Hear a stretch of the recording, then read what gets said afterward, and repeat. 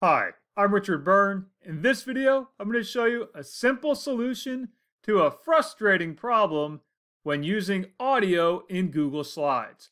Let's go ahead and take a look at what this problem is and how to fix it.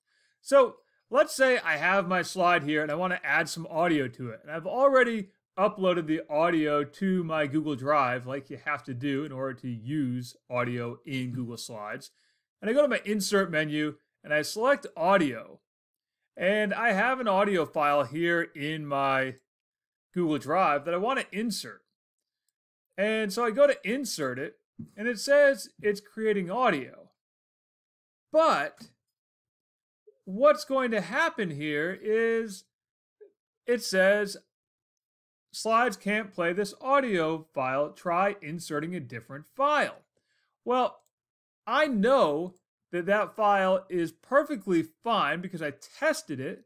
And if I open it back up here again, you'll see I have some other ones and I can try this one and I'll still get the same problem. I'm still going to get that same message when I try to use that audio file.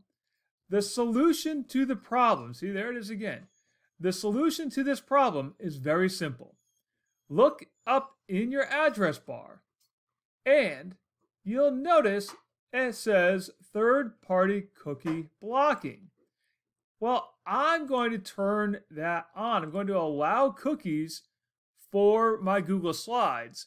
And now, when I go to the insert menu and I choose my audio file from my Google Drive and I insert it, it will now create the audio to use in my Google slide.